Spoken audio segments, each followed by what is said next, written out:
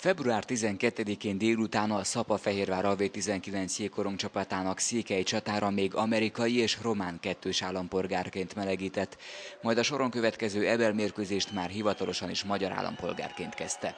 Mihály Árpád a Linz elleni mérkőzést megelőzően a jégcsarnok jegén tette le esküjét. Soltész Miklós államtitkár, dr. Bóka Viktor Székesfehérvár jegyzője, Ocskai Gábor szakosztályigazgató, valamint Cserpalkovics András polgármester, no és mintegy 3500 jégkorong barát előtt. Két-három hetente van honosítás Székesfehérváron, Szent István városában.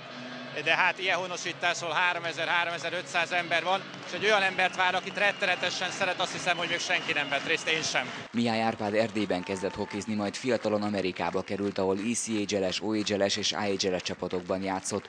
Olaszországban bajnoki címet szerzett. A 2008-2009-es idényben pedig a Csíkszereda színeiben a Molliga pont és gól királya volt.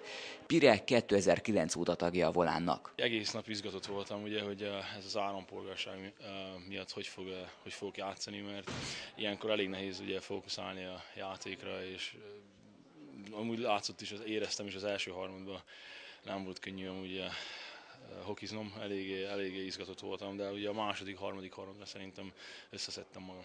Milyen érzés?